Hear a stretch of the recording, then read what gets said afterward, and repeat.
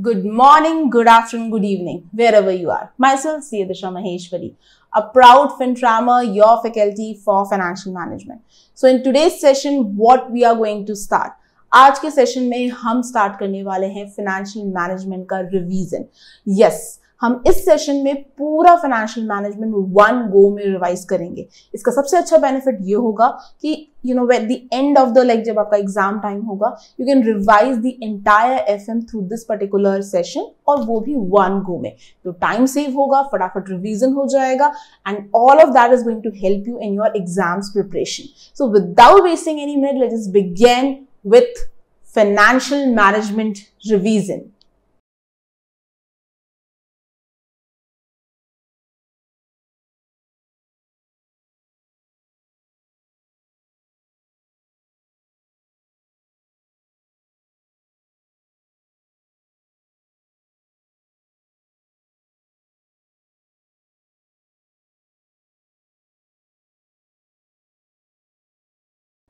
Now, over here, financial management revision.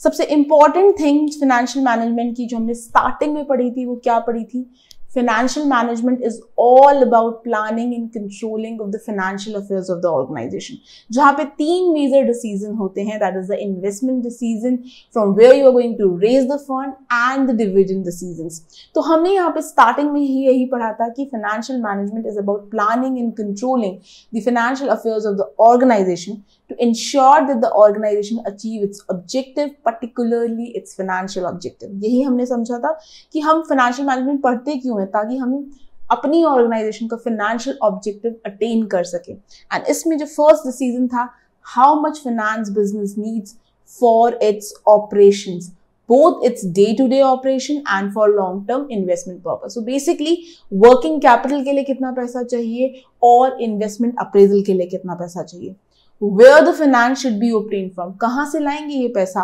Long term से लाएँगे short term से लाएँगे डेट से लाएँगे इक्विटी से लाएँगे। रिमेंबर हमने इसी के सेगमेंट के लिए पूरा cost of capital and sources of finance chapter understand किया था। तो कहाँ से फंड्स आएँगे? That is also one of the most important thing and what should be the balance between long term and short term finance and what should be the balance between equity and debt capital तो basically हमने capital structure if you remember वहाँ पे भी यही understand किया था कि date and equity का प्रपोर्शन कैसा होना चाहिए डेट बहुत ज़्यादा भी नहीं होनी चाहिए बहुत कम भी नहीं होनी चाहिए इक्विटी भी इक्विटी के क्या यू नो बेनिफिट्स हैं डेट के क्या बेनिफिट्स हैं that all we have done then investing the short term you know uh, surplus cash surplus then ensuring that the provider of finance are suitably divided so जो भी हमें finance कर रहा है whether the you know through loan notes तो जो वो lenders हैं या shareholder उनको एक डिजायरेबल अमाउंट ऑफ़ रिटर्न मिले। लोन नोट्स को इंटरेस्ट मिले इक्विटी शेयर होल्डर्स को डिविडेंड मिले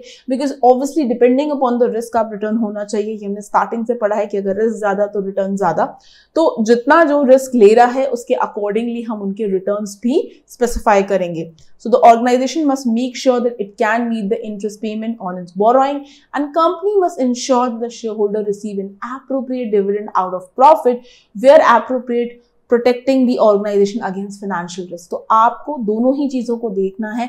आपके पास में इतना प्रॉफिट जनरेट होना चाहिए कि आप अपनी इंटरेस्ट लाइबिलिटी को पे ऑफ़ कर सको सो so दैट जो आपके लोन नोट्स होल्डर हैं, उनको एक प्रॉपर रिटर्न मिल सके। एंड विद दैट आपको ये भी इंश्योर करना है कि आपके जो शेयर होल्डर्स हैं, उनको proper you know dividend pay out है। बिकॉज़ हमने स्टार्टिंग से पढ़ा है शेयर होल्डर्स को रिटर्न दो ही फॉर्म में मिलता है in the form of dividend in the form of capital gain so yes उनको डिविडेंड मिलना बहुत ज़रूरी है। They expect dividend and then we talked about the finance manager make decision relating to investment financing and dividend यही हमारे तीन decision है जो एक finance manager लेता है और जो आप ही लेंगे if you are going to become a finance manager and management को risk भी consider करना चाहिए risk analysis भी करना चाहिए it's not only कि आपके यही तीन decision है इन तीन decision को में जो भी आप decision लेते हो उस point in time पे you have to also consider the risk also So the, then we have talked about objective of financial management. The one of the most important objective of financial management is maximizing shareholders wealth. Shareholders जो organization में invest कर रहे हैं, they are the owners, they are the promoters of the organization. उनकी wealth को maximize करना. अभी उनकी wealth को maximize कैसे किया जा सकता है? उनकी wealth को maximize करने का बहुत ही simple तरीका है. आप या तो उनको dividend pay out करो या जो आप उन्हें capital gain दे रहे हो through rising the prices of the share उसके थ्रू तो इन दोनों ही तरीकों से आप उनकी वेल्थ को मैक्सिमाइज कर सकते हो। The overall objective of a company might be stated as maximising maximising the wealth of its owner the share holder share holder wealth is increase by dividend payment and a higher share price corporate strategies are therefore desirable if the result in a higher dividend a higher share price और both so basically आप जब corporate strategies बनाओगे, आप ये चीज़ें notice करोगे कि अगर डिविडेंड ज़्यादा दे रही है कंपनी तो उसके शेयर प्राइसेस भी बढ़ेंगे। या बाय डिफ़ॉल्ट आप रिटेन भी कर रहे हो प्रॉफिट बट आपका यू नो ग्रोथ दिख रही है कंपनी में तो शेयर प्राइसेस बढ़ेंगे। तो आपको या तो हाई डिविडेंड देना पड़ेगा या हाई शेयर प्राइस देना पड़ेगा, या आप दोनों ही दे रहे हो, तब तो बहुत ही बढ़िया है। So the wealth of the share holder company comes from either जो डिविडेंड वो रिसीव करते हैं या market value of share share holder का जो रिटर्न है बेसिकली वही dividend receive in the capital gain from the increase in the market value of their share so that's basically what और how you are going to increase the value और the you know share holders wealth now there are three possible methods for the valuation of a company तो state of financial position balance sheet valuation एक तरीका होता है आप अपनी company को किस तरीके से वैल्यू करोगे?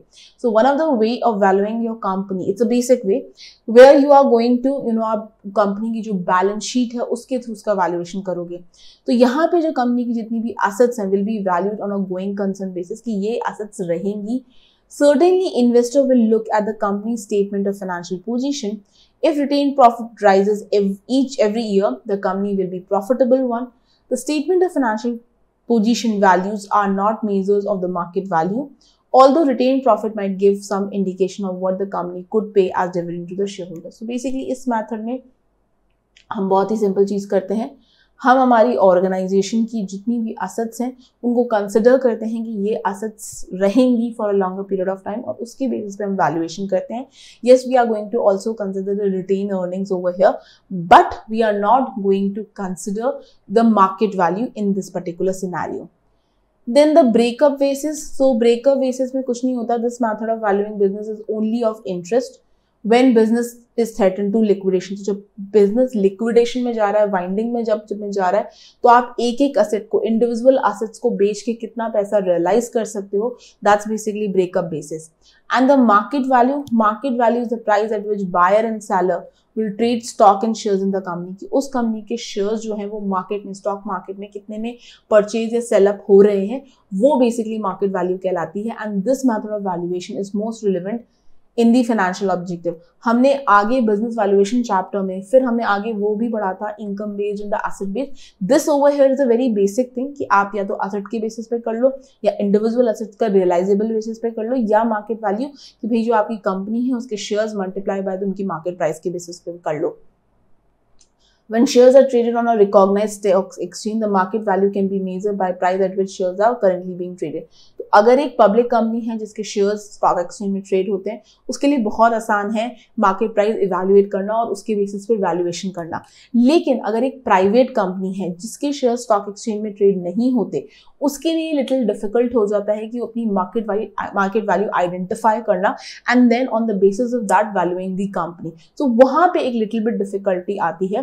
There is no way no easy way to measure their market value even so the financial objective of this company should be to maximise the wealth of their ordinary share holder if there is increase in earnings earnings the dividend management can hope for increase in the share price too so ये एक बहुत simple चीज़ है। देखो, कहीं पे भी जो शेयर प्राइस होता है कंपनी का, वो डिपेंड करता है कंपनी की परफॉर्मेंस से, ठीक है? अब अगर कंपनी की परफॉर्मेंस किससे मतलब इवेल्युएट होती है? विद द उसकी ग्रोथ कितनी हो रही है? उसकी अर्निंग्स की ग्रोथ कितनी हो रही है? अगर कंपनी की अर्निंग्स की growth percentage you know on increasing trend है सो ऑफकोर्स उसका शेयर प्राइस इंक्रीज होगा। Investor want to invest in a company same way अगर कंपनी एक अच्छा डिविडेंड पे कर रही है तो इन्वेस्टर्स को तो रिटर्न ही चाहिए रिटर्न से मतलब है। चाहे वो यू नो कैपिटल गेन से मिले चाहे डिविडेंड से मिले। सो so, अगर कंपनी उनको लग रहा है कि ये कंपनी एक अच्छे डिविडेंड पे करती है तो ठीक है you know we are getting return in the form of capital gain so it's good to invest in this particular company so again in दोनों ही बेसिस की वजह से जहाँ ग्रोथ हो रही है अर्निंग्स में या डिविडेंड अच्छा पे कर रही है उस कंपनी में इन्वेस्टर्स का इन्वेस्टमेंट बढ़ेगा उस पर उस उस शेयर्स की डिमांड बढ़ेगी। And when demand is going to increase the price definitely is going to increase So the shareholder benefit from both high revenue and also the capital gain. The total shareholder return is a measure which combines increase in the share price and dividend paid and can be measured as P1 minus P0. P1, the current market price minus the previous market price plus D one that is the dividend paid divided by the P zero P zero जो आपकी share price है at the beginning of the period P one जो आपकी current market price है या market price at the end of the period and D one is the dividend paid out तो ये हमारा पहला यू नो ऑब्जेक्टिव था I would say the first objective is basically maximising share holder wealth the second objective of the financial management is maximising profit so यहाँ पे ये कहते हैं कि हमारा जो फाइनेंशियल ऑब्जेक्टिव होना चाहिए, वो होना चाहिए प्रॉफिट्स को मैक्सिमाइज करना।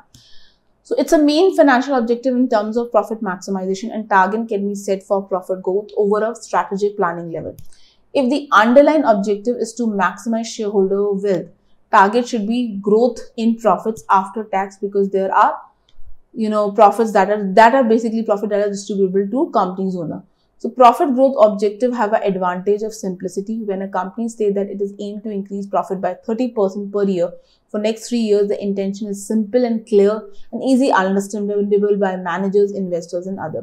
तो यहाँ पे आपका सिंपल सीधी कहानी इतनी सी है कि आपको अपने प्रॉफिट को बढ़ाना है अब अगर आपको इसको रिलेट करना है with maximising share holders wealth से तो प्रॉफिट्स बढ़ाने के साथ आपको वो प्रॉफिट भी बढ़ाना है जो अवेलेबल टू शेयर होल्डर यानी आपको पीएटी प्रॉफिट आफ्टर टैक्सेशन को बढ़ाना है which is actually available profit after taxation minus the preference dividend को बढ़ाना है जो कि बेसिकली अवेलेबल है टू इक्विटी शेयर होल्डर्स को सो so, वो आपको देखना पड़ेगा बट यहाँ पे बहुत क्लियर कट कहानी है। यहाँ पे वो नहीं है कि डिविडेंड पे आउट करना है या यू you नो know, आपको शेयर uh, के प्राइसेस इंक्रीज करने हैं जो कि maximisation of share holders wealth में होता है। वो स्टोरी है ही नहीं यहाँ सिंपल स्टोरी है कि आपको अपने प्रॉफिट्स को इंक्रीज करना है। देन ऑर्गेनाइजेशन में नॉन फाइनेंशियल ऑब्जेक्टिव ये दो तो हमारे फाइनेंशियल ऑब्जेक्टिव्स हो गए। इस मैक्सिमाइजेशन ऑफ़ प्रॉफिट में आपको इफ़ यू रिमेंबर मैंने आपको मैक्सिमाइजेशन ऑफ़ ईपीएस भी पढ़ाया था। तो maximisation of EPS is again earning per share आपको इंक्रीज करना है। तो अगर प्रॉफिट बढ़ेगा तो ऑफकोर्स आपका जो earning available to share holders है, वो भी इंक्रीज हो जाएगा। देन नॉन फाइनेंशियल ऑब्जेक्टिव्स क्या क्या होते हैं ऑर्गेनाइजेशन में? सो so, अगर मैं बात करती हूँ non financial objective of the organisation the first one is the welfare of employees आपको अपने एम्प्लॉयज़ का वेलफेयर देखना है ठीक है? देखो ऑर्गेनाइजेशन में एक चीज़ होती है कि आपकी ऑर्गेनाइजेशन ग्रोथ अर्निंग के टर्म में इंक्रीज करे। और एक और चीज़ होती है कि legally ethically you know in non financial terms में भी एक यू नो इंक्रीज हो। आपका प्रॉफिट बढ़ रहा है, लेकिन आपकी ये जो क्वालिटी है प्रोडक्ट की, वो आप खराब करते जा रहे हो। तो एक पॉइंट ऐसा आएगा कि उस क्वालिटी खराब करने की वजह से आपका प्रॉफिट भी गिरना शुरू हो जाएगा। वैसे ही ये दूसरे नॉन फाइनेंशियल ऑब्जेक्टिव्स हैं, जो डायरेक्टली आपकी ग्रोथ में तो you know it's not going to you will not be able to evaluate but ये इनडायरेक्टली आपकी ग्रोथ को इंक्रीज करते हैं। अगर ये चीज़ें सही होंगी तो आपकी performance will be better And they are going to help you in the grow in in the growth of the company so welfare of employ आपको A company might try to provide good wages, salaries, comfortable and safe working condition, good training, career development, good pension. So if redundancy are necessary, many companies can provide generous redundancy payments or spend money trying to find alternative employment in that particular case तो आपको अपने welfare of employ के लिए work करना है, क्योंकि अगर आपके एम्प्लॉयज़ आपसे सेटिस्फाई होंगे they will not you know leave the company and in that way आप एक स्किल लेबर फोर्स को अपने पास में रिटेन करके रख सकोगे एंड आपकी कॉस्ट अगेन कम रहेगी बिकॉज़ आपको बार बार you know your H R does not need to you know do दो थिंग्स की बार बार आपको यू नो कॉस्ट लगानी पड़ रही है for the purpose of hiring the people या उनको ट्रेन करने में। It's a one time cost अगर आपने उनको अच्छे से रिटेन करके रखा। Then welfare of management welfare of management to an extent is similar to welfare of employees only the manager will often take decision to improve their circumstances even though their decision will include uh, will incur expenditure and reduce profit high salary companies cars and other perks are all example of promoting their own interest तो आपको management का भी देखना पड़ेगा but ये भी आपको साथ में देखना है कि आप यू नो हायर मैनेजमेंट का इतना ज़्यादा वेलफेयर ना कर दे कि आपकी कंपनी लॉसेज में जा रही हैं और आप फिर भी उनकी सैलरी हाइक कर रहे हो, उनको यू नो पर्क्स पे पर्क्स दे रहे हो। So in that particular scenario क्या होगा? वन साइडेड हो जाएगा सब कुछ। आप टॉप मैनेजमेंट को बहुत कुछ दे रहे हो और आपकी कंपनी लॉसेज में जा रही है तो शेयर होल्डर में फील कि यार ये क्या सिस्टम है? It should not that big उस चीज़ को भी आपको ध्यान रखना है। Provision of services the major objective of some companies will include fulfillment of responsibility to provide a service to the public so that's also a thing कि आपको public के लिए एक अच्छी you know facilities provide करनी है fulfilment of responsibility towards your customers तो जो आपके कस्टमर्स हैं उनको आपको एक बेटर फैसिलिटीज़ प्रोवाइड करनी है in terms of you know you know the product quality or the service quality they expect dealing honestly and fairly with the customer reliable supply arrangement after sale service are all of that आपको उनका ख्याल रखना पड़ेगा then fulfilment of responsibility towards your supplier जिनसे आप you know you take up आप purchases करते हो, उनको भी उनके साथ भी आपको एक अच्छे ट्रेडिंग रिलेशनशिप्स रखने पड़ेंगे। आपको उनको टाइमली पेमेंट करना पड़ेगा। अगर आप उनको डिले पेमेंट करोगे तो again was going to happen there is a possibility कि आपकी रेपुटेशन खराब हो and later on that particular supply might not be willing to again you know work with you so वो चीज़ भी आपको देखनी है। So company size could be could give it considerable power as a buyer company should not use its power unscrupulously, and supplier might rely on receiving prompt payment in accordance with the agreed terms of trade. Then आपको welfare as a society तो आप एक company हो तो आपको society का as a whole welfare देखना होगा। इट इज़ बेसिकली कि आपको कार्बन एमिशन के एनवायरमेंटल फ्रेंडली भी होना चाहिए। You must do some things which create a you know आपका एक कंपनी का एक इमेज क्रिएट करे कि हाँ ये कंपनी सोसाइटी के लिए भी बहुत कुछ करती है। So if there are situation way you can do something for the society you should do for the society So management of some companies are aware of the role that their company has to play in exercising corporate social responsibility CSR.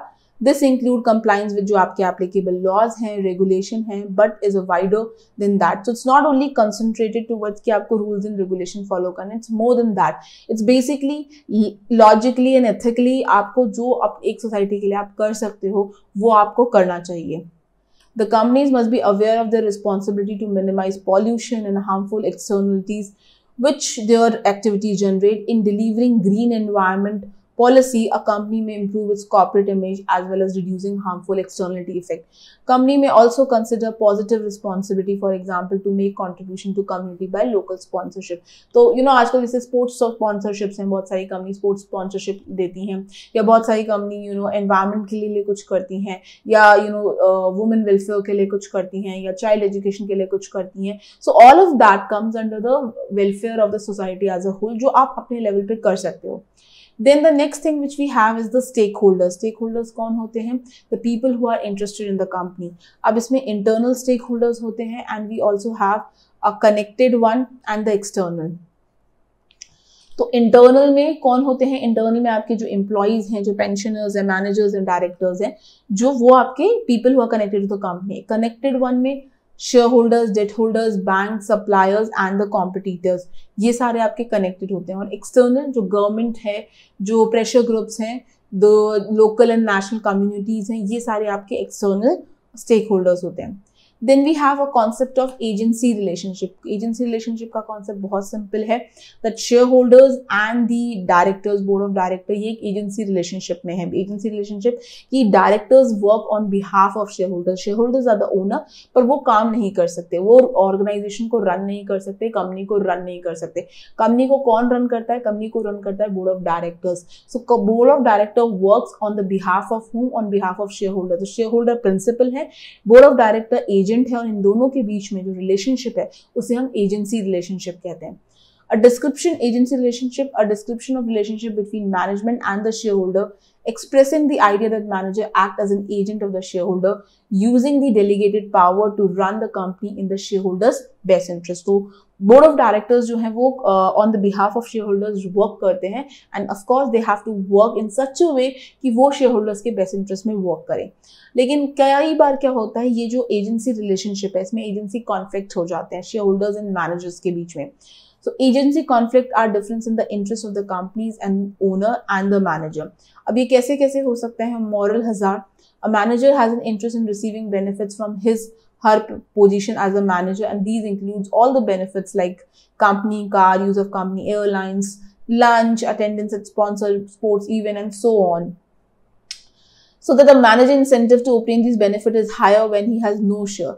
And only a few shares in the company the biggest problem is in large company तो कई बार क्या होता है कि manager अपने खुद के यू नो पर्सनल बेनिफिट के लिए काम करते हैं। वो कंपनी का बेनिफिट इग्नोर कर देते हैं कि क्या ये चीज़ कंपनी के लिए अच्छी है या नहीं है। इट इज़ अ पॉसिबिलिटी कि कंपनी लॉसेज में है, लेकिन फिर भी आप अपने आप को यू नो हायर रेन्यूमेशन दे रहे हो। So that's not good for the organization that particular scenario आप अगर अपने लोअर मैनेजमेंट या मिडिल मैनेजमेंट की सैलरी कट कर रहे हो तो you have to do the salary cut for yourself also so that is basic basically कई बार उस वजह से shareholders and the managers board of directors में कॉन्फ्लिक्ट हो जाते हैं।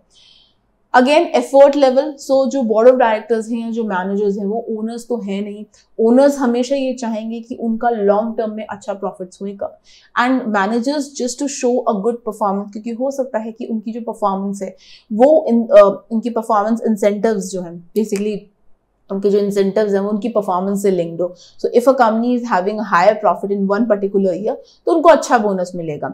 अब उसकी वजह से हो सकता है what they can go for कि भाई वो उस पर्टिकुलर ईयर में शॉर्ट टर्म के लिए सोचे कि हमें इस ईयर में प्रॉफिट ज़्यादा करना है। अब उसके लिए वो शायद कॉस्ट कटिंग करें क्वालिटी सेक्रीफाइस करें तो हो सकता है उस पीरियड इन टाइम में तो आपको अच्छा प्रॉफिट मिल जाए because of cost cutting quality and all of that quality reduction से। बट लॉन्ग टर्म में आपकी कंपनी की इमेज खराब हो सकती है रेपुटेशन खराब हो सकती है उसकी वजह से लॉन्ग टर्म में आपको कंपनी को काफ़ी कॉन्सिक्वेंसेस यू नो वर्कआउट करने पड़ सकते हैं तो यहाँ पे भी अगेन एक एजेंसी कॉन्फ्लिक्ट आ जाता है manager may work less hard than they should if they are owners of the company the effect is lack of effort also वो उतना ज़्यादा उतने उससे काम नहीं करेंगे क्योंकि वो उनकी खुद की कंपनी नहीं है could be lower profit and lower share price. The problem will exist again in the large company, the middle level management as well as the senior management.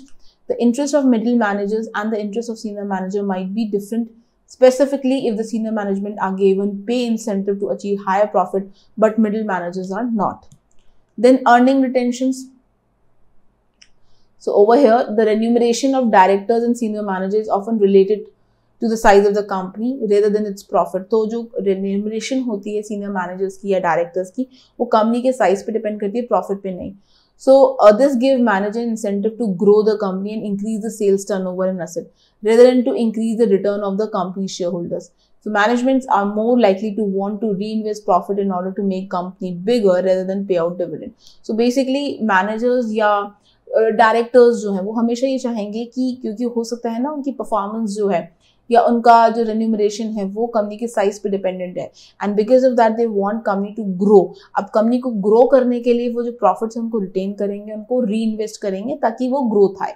और they might not you know want to pay the dividend अब dividend uh, आप जब बिल्कुल नहीं pay करोगे तो somewhere shareholder क्योंकि कुछ शेयर होल्डर्स को लगता है कि you know dividend is necessary so उस केस में you know some of the shareholders will not feel happy और they are again there's a agency relationship then we have a risk aversion. So again senior management या directors जो हैं they will be wanting company to be stable उनको company stable चाहिए, उनको ये नहीं चाहिए. They interested in the stability of the company so that's why they might sometime you know वो अपने आप, रोकें अपने आप को कोई बहुत मेजर रिस्क लेने से. हो सकता है उस रिस्क को लेने से आपको बहुत बढ़िया रिवॉर्ड्स भी मिले but they does not want to impact the stability of the company and because of that वो एक अच्छी अपॉर्चुनिटी लूज कर जा, कर सकते हैं just because they do are not willing to take a risk at that point in time. Then time horizon, again time horizon, the concept is that only कि जो मैनेजर्स या डायरेक्टर्स हैं वो शॉर्ट टर्म के लिए सोचते हैं वो शॉर्ट टर्म के प्रॉफिट्स पे ज़्यादा फोकस रहते हैं but shareholders the owners they are more interested in the long term profits so that's again a conflict between managers and the directors then we have a concept of corporate governance.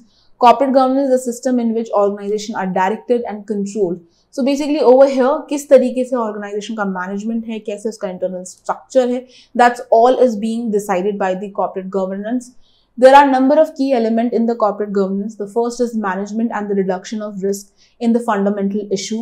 The notion that the overall performance is enhanced by the good organization structure. तो organization का structure अगर अच्छा होगा तो आपकी performance evaluate होएगी मतलब increase ही होएगी Good governance provide framework for organisation to pursue it strategy in an ethical way तो एक अच्छा कॉर्पोरेट गवर्नेंस होगा तो आप अपनी ऑर्गेनाइजेशन की जो भी स्ट्रैटेजीज हैं उसे सही तरीके से you know you are going to implement them and offer safeguard against misuse of resources, physical and the intellectual. And good corporate governance is not just about externally establishing code, but आप अपने you know also require willingness to apply the spirit as well as letter of law. And accountability is also one of the accountability responsibility की कौन किस चीज़ के लिए responsible है that's also something very important in case of the you know uh, corporate governance. Then हमने बात की थी नॉट फॉर प्रॉफिट ऑर्गेनाइजेशन की नॉट फॉर प्रॉफिट ऑर्गेनाइजेशन को किस तरीके से हम उनकी परफॉर्मेंस को इवेल्युएट करते हैं। तो नॉट फॉर प्रॉफिट ऑर्गेनाइजेशन का मेन ऑब्जेक्टिव प्रॉफिट कमाना तो होता है नहीं। उनका मेन ऑब्जेक्टिव होता है सोसाइटी को इन जनरल सोसाइटी के लिए वर्क करना इन जनरल तो वहाँ पर हम कॉन्सेप्ट यूज़ करते हैं वैल्यू फॉर मनी का।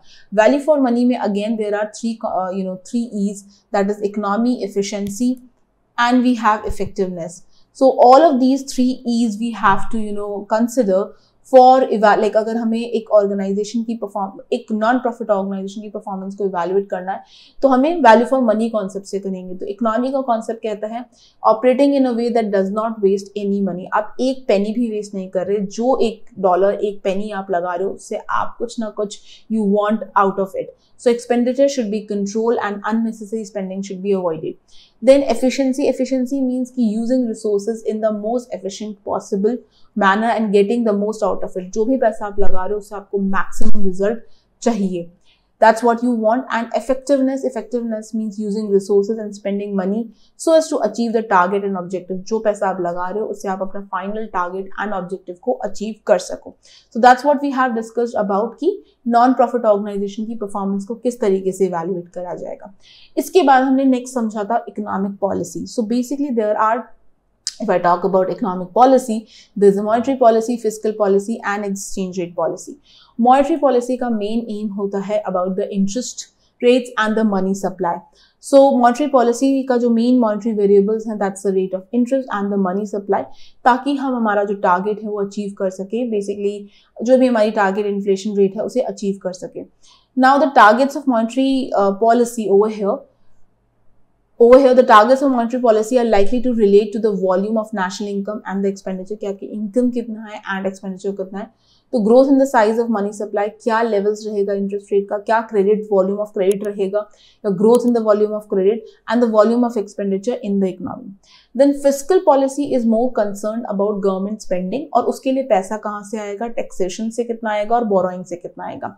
So by managing amount which government government spend and the amount it collect through taxation and the whatever remaining that's going to be collected from borrowings. So fiscal policy can be used as an instrument of demand management over here. Then fiscal policy relates to the government spending, taxation and the borrowing.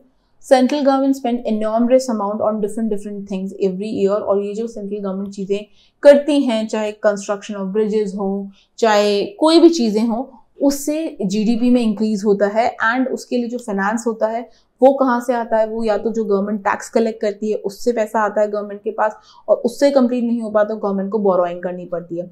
When government plan increase in spending it will probably seeks to finance the higher spendings and in full और in part through higher taxation तो अगर government अपनी spending बढ़ाएगी तो कहीं ना कहीं वो थोड़ा बहुत टैक्सेशन भी बढ़ाएगी। टैक्सेशन आपको टैक्सेशन के सोर्स क्या है? टैक्स का आप कहाँ से जनरेट करते हो? Taxation of the income of individual taxation of the profits of companies and indirect taxation on expenditure जो भी आपका सारा sales tax and value added tax है। So that's basically and the government spend more uh, than it raises tax so जो remaining balance है वो borrowing से complete होएगा। Then we have exchange rate तो एक्सचेंज रेट बेसिकली जो हमारी country है और जो फॉरेन कंट्री है उन दोनों की करेंसी के बीच में you have to find out exchange rate are determined by supply and demand between two currency so government इसमें इंटरवीन कर सकती है गवर्नमेंट एडजस्ट कर यू नो एक्सचेंज रेट को इंटरवीन कर सकती है by adjusting interest rates because कहीं ना कहीं जो हमारी इंटरेस्ट रेट्स हैं वेदर फिक्स या फ्लोटिंग वो इम्पैक्ट करती हैं the exchange rates over here so what what determine exchange rate between two countries एक दो कंट्री के बीच में जो एक्सचेंज रेट है, वो किस तरीके से डिटरमाइंड होती है? So the demand comes from individual, like uh, demand for the currency that's come from individual farms and government, and of course, you know, uh, and supply comes from those who want to sell. So supply and demand जो है supply and demand जो है currency की वो influence करती है exchange rate को. And there are other factors also that is the rate of inflation क्या रेट ऑफ़ इन्फ्लेशन चल रहा है? क्या इंटरेस्ट रेट चल रही है? क्या बैलेंस ऑफ़ पेमेंट चल रहा है? क्या स्पेकुलेशन चल रहे हैं? क्या गवर्नमेंट पॉलिसी चल रही है? All of these things somehow impact you know the exchange rate we have in that particular session also talked about the competition policy green policy so competition policy ki kis tarike se you know monopolies ko prevent karna hai green policy that is the environmental policy and we have discussed this in detail over there then we have came to the topic of working capital. So what is working capital? Working capital जो आपको रोज़मर्रा के पैसे जो you know every day to day operation के लिए जो पैसे चाहिए वो आपकी वर्किंग कैपिटल है। रोज जो आपको एक्टिविटी करनी है अपनी ऑर्गेनाइजेशन में, उसको आप कहाँ से फाइनेंस करते हो? उसको फाइनेंस करने के लिए, उसको फंड करने के लिए, या जो वो पैसा रिक्वायर्ड है, उसे ही हम वर्किंग कैपिटल कहते हैं। So one of the most important area in day to day management of a business organization is management of working capital so so, आपको याद होगा मैंने आपको बोला था इन्वेस्टमेंट डिसीज़न इन्वेस्टमेंट डिसीज़न के दो पार्ट होते हैं एक वर्किंग कैपिटल डिसीज़न और एक investment appraisal decision so investment working capital basically जो शॉर्ट टर्म फाइनेंस है उसको जो शॉर्ट टर्म में इन्वेस्टमेंट करना है that is basically working capital investments कि रोज you know day to day operation के लिए हम कितना पैसा साइड बाय करके रखें। Now in that we have talked about the gross working capital and net working capital. Gross working capital kuch nahi, it's total current assets. It's a total of current assets and net working capital that is current assets minus current liability. Then we have talked about over capitalization and under capitalization so हमें हर point in time पे proper optimum working capital रखनी है। हमें ज़्यादा भी नहीं रखनी और हमें कम भी नहीं रखनी। अगर हमने बहुत ज़्यादा रिक्वायरमेंट से ज़्यादा फंड्स वर्किंग कैपिटल के लिए ब्लॉक कर दिए तो what is going to happen हम, हमारे फंड्स को हमने यू नो ब्लॉक कर रखा है इन वर्किंग कैपिटल तो हम कोई अच्छी इन्वेस्टमेंट अपॉर्चुनिटी जहाँ हम उन फंड्स को इन्वेस्ट कर सकते थे and we can earn more return from there वो हम लूज आउट कर जाएँगे and that's not good for the organisation total growth अगर हम अंडर कैपिटलाइजेशन है, यानी जितनी वर्किंग कैपिटल रिक्वायर्ड है, उससे कम हमने इम्पोज डाल रखी है तो क्या होएगा? उस सिनेरियो में क्या होएगा कि देर इज़ अ पॉसिबिलिटी कि हमने अपनी इन्वेंट्रीज यू नो इन्वेंट्रीज के लिए पैसा ना हो, या हम अपने यू नो डेट क्रेडिटर्स को टाइमली पेमेंट नहीं कर पाएँगे. तो इन दैट पर्टिकुलर सिचुएशन अगर हम क्रेडिटर्स को टाइमली पेमेंट नहीं कर पाएँगे, हमारी रेपुटेशन खराब होएगी। इन्वेंट्रीज अगर हम टाइमली परचेज नहीं कर पाएँगे तो देर अ पॉसिबिलिटी की प्रोडक्शन हैम्पर हो सकता है स्टॉक आउट की पॉसिबिलिटी हो सकती है। तो दोनों ही सिचुएशन हमें अवॉइड करनी है that's why we have to maintain optimum working capital at all point in time Overcapitalization implies that company has too large funds then required resulting in a low rate of return on the assets. तो आपने बहुत ज़्यादा fund block कर रखे हैं जितने required हैं for working capital उसकी वजह से आप यू नो कहीं ना कहीं कोई इंटरेस्ट अपॉर्चुनिटी या you know return opportunity show lose कर रहे हो। It show that resources are not utilise by the firm at a optimum level a large amount of working capital means company funds are idle and not utilise effectively on the other hand under capitalisation mean that the firm is not backed up enough funds to support its level of activity मतलब जितनी आपको अपनी activities perform करने के लिए पैसा चाहिए, उतना आपने नहीं डाल रखा है।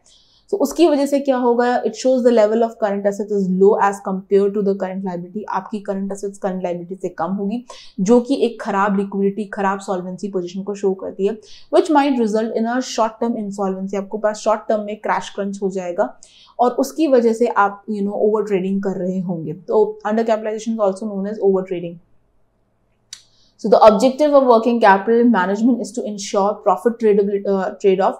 Between liquidity and the profitability which increase profit without disturbing the day to day function तो आपको ऐसा भी नहीं है कि बहुत सारे फंड आइडल छोड़ दिए, क्योंकि अगर आप बहुत सारे फंड आइडल छोड़ दोगे या बहुत सारे फंड वर्किंग कैपिटल में ब्लॉक करोगे तो आपका लिक्विडिटी तो बहुत अच्छी मेंटेन हो जाएगी, लेकिन प्रॉफिटेबिलिटी हैम्पर हो जाएगी, क्योंकि आपने अपने फंड आइडल छोड़े हुए हैं तो you are not investing in adequate you know किसी और चीज़ों में तो आपकी प्रॉफिटेबिलिटी हैम्पर होगी एंड दूसरी चीज़ आपको अगर आपने उल्टा किया, आपने सारे ही फंड्स यू नो ब्लॉक मतलब इन्वेस्ट कर दिए और बहुत थोड़े से फंड रखे फॉर वर्किंग कैपिटल तो आपकी लिक्विडिटी हैम्पर होगी तो आप short term solvency short term insolvency suffer करोगे बट हाँ आपको प्रॉफिट्स अच्छा हो जाएगा। तो आपको दोनों सिचुएशन को सही तरीके से टैकल करना है।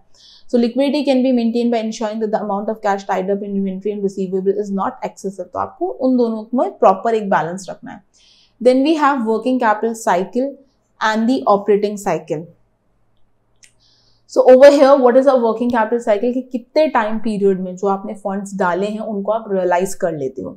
The length of the time between the firm paying cash for purchasing raw material मतलब जब आपने फर्म में you know you have purchase raw material उस पैसे को आप कितने टाइम में वापस विड्रॉ कर लेते हो, निकाल लेते हो, और या रियलाइज़ कर लेते हो cash from its debtor into the production process and realising the cash from its debtor operating cycle का फॉर्मूला बहुत ही सिंपल है R plus W plus F plus D minus C where R is raw material storage period W is W I P holding period F is finish good storage period D is average collection period and C is average payment period तो ये formula use करेंगे और हम अपना operating cycle निकाल लेंगे। We have done a good amount of question on this particular topic so that's that. And how we are going to calculate each of them? So R, you can calculate average stock of raw material multiplied by 365 divided by raw material consumed. W is average WIP into 365 divided by cost of sales. F is average stock of finished goods into 365 divided by cost of goods sold.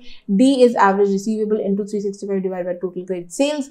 And C is average payable into 365 divided by total credit purchase. That's how you are going to calculate individually अगर आपको data दिया जाता है और कहा जाता है इन्हें calculate करो तो ये formula से आप सकें देन उसी चैप्टर में हमने लिक्विडिटी रेशो के बारे में पढ़ा था तो लिक्विडिटी रेशो हमें ये बताते हैं कि हमारी सॉल्वेंसी पोजीशन कितनी है हमारी ability to pay off our short term you know debts किस तरीके की है वो हमें समझाते हैं।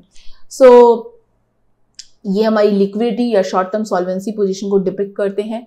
लिक्विडिटी और short term solvency means ability to ability of the business to pay its short term liabilities यहाँ हमने दो रेशो समझे थे करंट रेशो और क्विक रेशो करंट रेशो का फॉर्मूला बहुत सिंपल है। करंट रेशो का फॉर्मूला होता है current assets divide by current liability और क्विक रेशो थोड़ा कंजर्वेटिव है in comparison to current ratio तो ये कहता है कि हम सारी करंट एसेट्स नहीं लेंगे।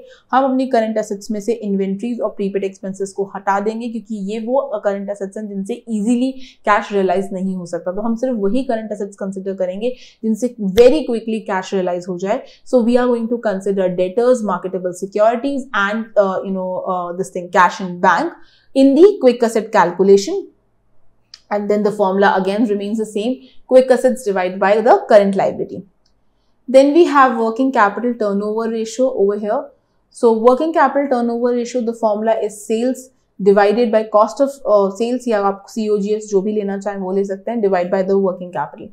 Working capital turnover ratio को हमने फर्दर सेग्रीगेट किए हैं तीन रेशो में इन्वेंट्री टर्नओवर में रिसीवेबल टर्नओवर में एंड दी पेबल टर्नओवर में सो इन्वेंट्री टर्नओवर का फॉर्मूला बहुत सिंपल है cost of good sold divided by average inventory या आप सेल्स भी ले सकते हो। So this ratio no also known as stock turn over ratio establish ये रिलेशनशिप स्टैब्लिश करता है between C O G S and the average inventory it measure the efficiency with which a firm utilise और manage its inventory क्या आप कितने अच्छे तरीके से अपने इन्वेंट्री को मैनेज कर रहे हो। So you if this ratio is you know if this ratio is too high that means of course you are managing it very well because आपका डिनोमिनेटर उस केस में कम होएगा। लेकिन अगर ये रेशो बहुत लो जा रहा है दैट मीन्स आपके पास में बहुत ज़्यादा एवरेज इन्वेंट्री होल्ड पे है। या तो आप, और इसका मतलब ये है कि आपने या तो बहुत ज़्यादा इन्वेंट्री परचेज कर ली है उसमें से कुछ ऑप्सलीट हो गई है, कुछ डैमेज हो गई है, या आपके जो फिनिश गुड्स हैं, उसकी सेल हो ही नहीं पा रही है। So you have to maintain this ratio on a higher side not on a lower side then we have a receivable turn over ratio जो कि ये बताता है कि आप अपने रिसीवेबल्स को कितने अच्छे तरीके से मैनेज कर रहे हो।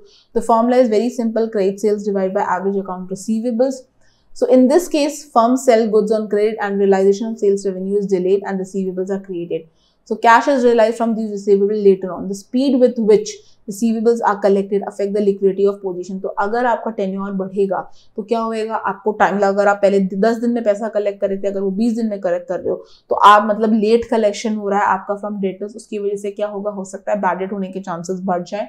आपका पैसा रिसीवेबल्स में ही ब्लॉक्ड है। So that's not a good thing for the organisation so इसका मतलब बट इसका मतलब ये नहीं है कि आप क्रेडिट सेल्स करना बंद कर दो। आपको क्रेडिट सेल्स करनी है, लेकिन आपको अपना कलेक्शन इफ़ेक्टिव रखना है। You try to you know realise uh, आपका जो आपके डेटर्स हैं या रिसीवेबल्स हैं उनसे फंड्स रियलाइज़ करने का प्रॉम्प्ट पेमेंट प्रॉम्प्ट कोशिश करनी चाहिए।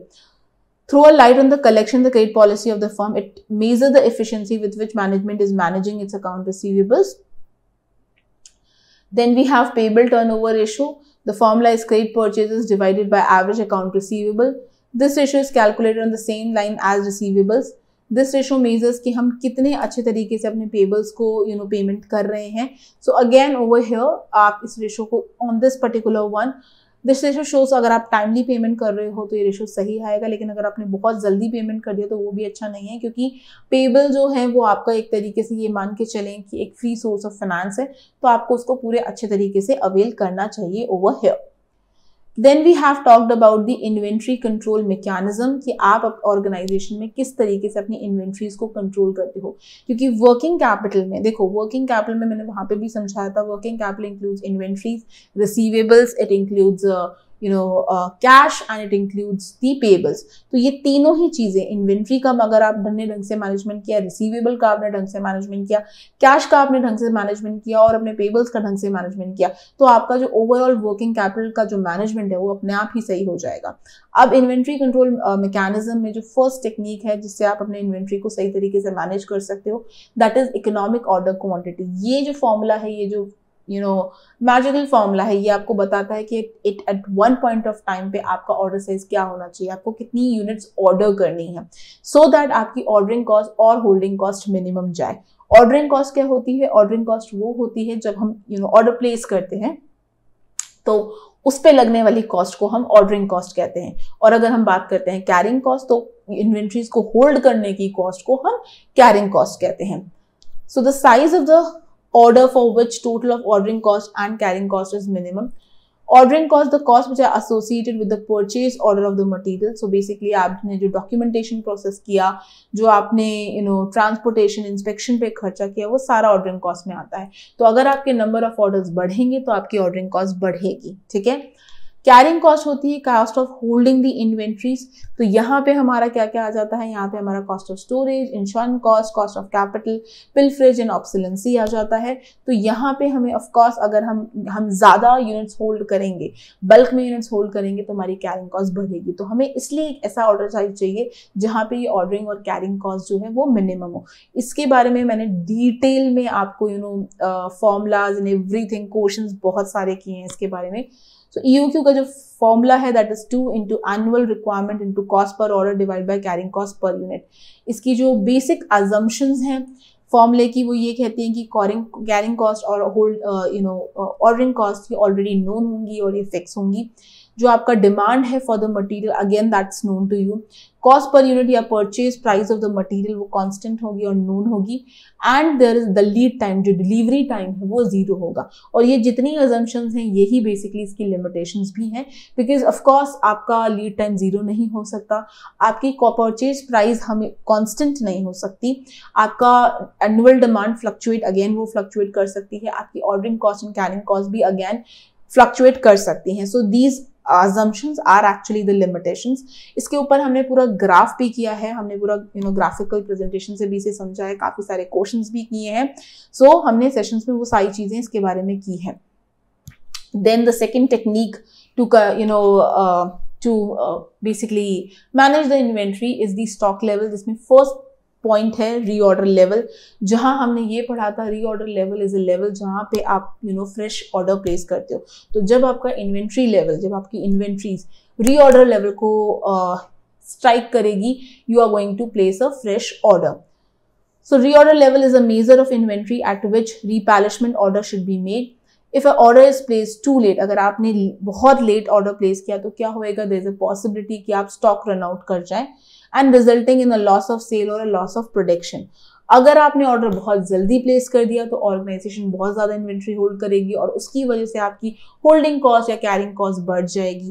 And the use of reorder level build uh, build in a measure and a safety of inventory and minimize the risk of organization running out of the inventory. So basically reorder level से आपको पता चल जाता है कि अब time आ गया है इन्वेंट्री या you know you know order place करने का। उससे क्या होगा? ना तो आप बहुत जल्दी ऑर्डर प्लेस करोगे और ना ही बहुत लेट प्लेस करोगे क्योंकि जल्दी प्लेस करोगे तो बहुत ज़्यादा इन्वेंट्री होल्ड करके रख बैठ जाओगे और लेट प्लेस करोगे तो स्टॉक आउट की पोजिशन आ सकती है। ठीक है? Then we have average inventory that is a very simple thing that is average amount of inventory और होल्डिंग उसका फॉर्मूला भी बहुत सिंपल है. Buffer inventory plus reorder amount divide by two फिर होता है हमारा मिनिमम स्टॉक लेवल कि हमें हमारी ऑर्गेनाइजेशन में कम से कम इतनी इन्वेंट्री तो होल्ड करके रखनी ही रखनी है। क्योंकि अगर इससे कम करेंगे तो हो सकता है हम स्टॉक रन आउट की पोजिशन में चले जाएँ। So it's the lowest level of inventory which must be maintained in hands at all time so that there is no stoppage of production due to non-availability of inventory. इसका formula भी बहुत easy है reorder stock level minus the average consumption into average reorder period. Then हमने next जो पढ़ा था, वो हमने पढ़ा था maximum stock level that means इससे ज़्यादा इन्वेंट्री हमें कभी भी होल्ड करके नहीं रखनी। क्योंकि अगर इससे ज़्यादा रखेंगे तो हमने बल्क में इन्वेंट्री होल्ड कर रखी है which might going to effect our holding cost उसकी वो हमारी होल्डिंग कॉस्ट को बढ़ा देगी। So the highest level of quantity for any material which can be held in stock at any time any quantity beyond this level cause an extra amount of expenditure due to engagement of engagement of fun cost of storage option so वो basically ये सारी चीज़ें holding cost का ही part है। तो अगर आप बहुत ज़्यादा इन्वेंट्री होल्ड करके रखोगे तो आपकी होल्डिंग कॉस्ट बढ़ जाएगी। इसका फॉर्मूला भी बहुत सिंपल है reorder level plus reorder quantity minus minimum consumption into minimum reorder period and reorder quantity is nothing but a EOQ